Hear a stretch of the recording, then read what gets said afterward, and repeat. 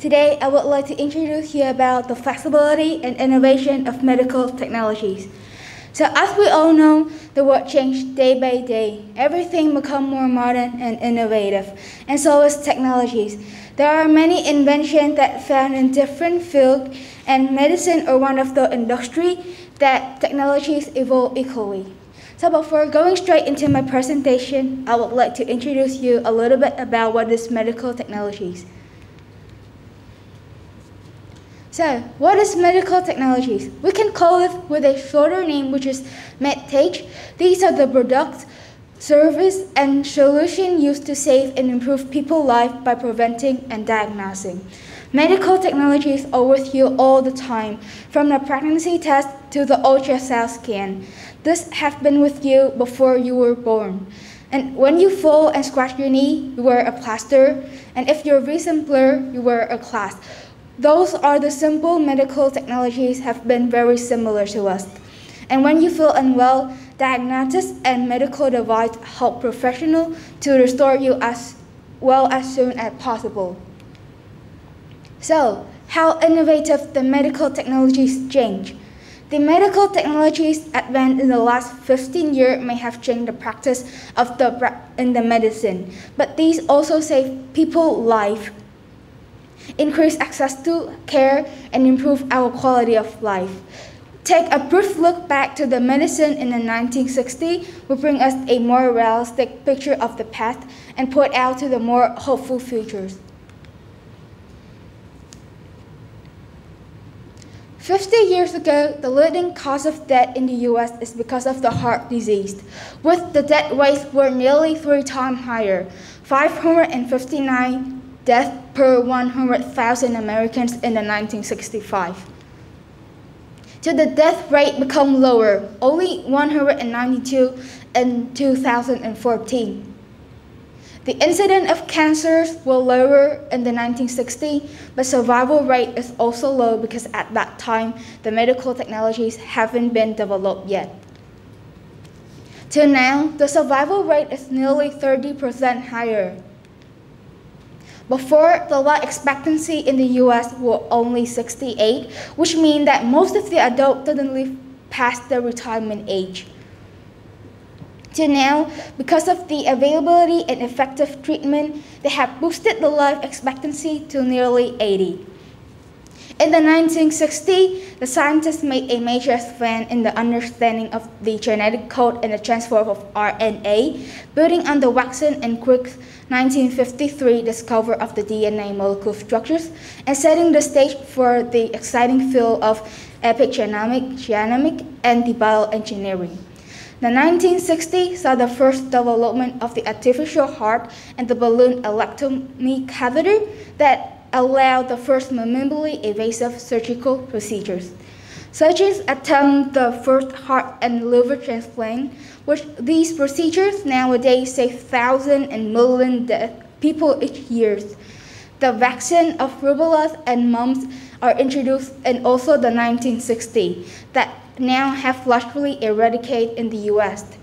The scientists first made the synthetic insulin in the laboratory in also 1960. A decade later, commercial production of synthetic insulin made the life-saving treatment available to people who have diabetes all around the country and the world. So there are some of the most important medical development in the last 50 years. This one is antibiotics. They are the medicine fighting against the bacteria infections in our body and animals. They work by killing the bacteria and or make them hard to grow and multiply. This one is statin. They are cholesterol-lowering drugs that used intensively in prevention of the heart disease, primarily to those who have the high risk of this illness and patients who have experienced the heart attack and stroke before. This medicine has significantly lowered the death rate of this disease area. This one may seem similar to use as the imaging. They are the CT and MRI revolutionize scanning the manner in our body to detect the disease like cancer or tumor. These will help us to inform the treatment and the range of the disease that we got. This one is also similar to use as the vaccine. These are the safe, simple, and effective way to protect yourself against the harmful disease before you come to contact with them. The development of the vaccine have against a range of infectious disease like smallpox, rubella, and also COVID-19. Thanks to this innovation that today we have a lot of technologies to cure the illness we thought we never do before and how flexibly the medtech change. Look at these pictures, we can see before and after. Imagine this was what it was 50 years ago.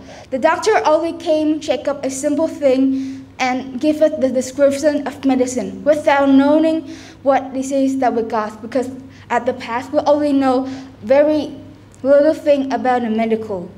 This pictures from the after is what we are right now. A lot of technologies are developed for us to cure our illness. From these pictures, we can see that we change a lot in the technologies, the ways that we approach, and the technological process. Like, as we all know, suffering from the COVID-19, we got the vaccine just only one or two years after the COVID start. But before the vaccine, 10 to 5 year, go through the three phases, it got safety test, then only then the vaccine will given out to us. But right now, we only need one to two years that we can have the vaccine, which is much shorter, but also get the stay for us. So all, from all of this, the healthcare industry is not what it is 50 years, 10 years, or 5 years ago. This largely due to the technological and the large number of innovative digital solutions that are introduced every day. Many technological have been proposed for several problems that the world of medicine are facing. They got the great greatly change and improve the quality of the industry. There have been many breakthroughs in the data collection, treatment, research, and the medical device such as the hearing aid, which have a huge impact on the medical work. And thanks to the technologies that today, we have a better and more accessible treatment for a wide range of disease, and also with a better and infection care for sick, better health care and disease control. This is my TED Talk. Thank you for listening.